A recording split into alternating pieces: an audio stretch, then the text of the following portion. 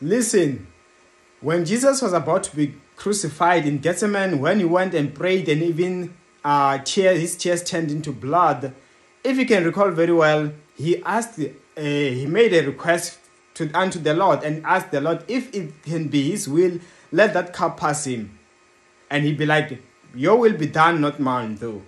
And God, at the end, He did not allow the past to come by, meaning, in some other words, it was a no.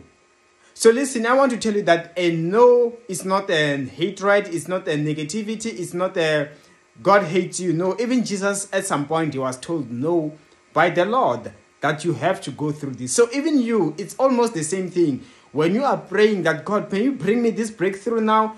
And nothing happens, it is because God is operating under His will onto your life at the moment. So don't cry, it's normal. That's why Jesus was just trying, it's almost like, in some other words, he was trying his luck with the Lord that perhaps he can grant me this request now but your will, Lord. And he still accepted when God showed him his will that you must go through this. And God to you today is telling you where you at at the moment is his will. He wants you to go through it and then finally at the right time he's going to give you what you want.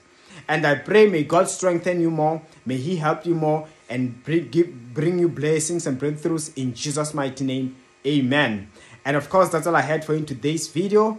This is Ishmael, and if you're watching me for the first time and you feel blessed by this word and you'd like to say thank you, go ahead and click that thanks button as well as for my details.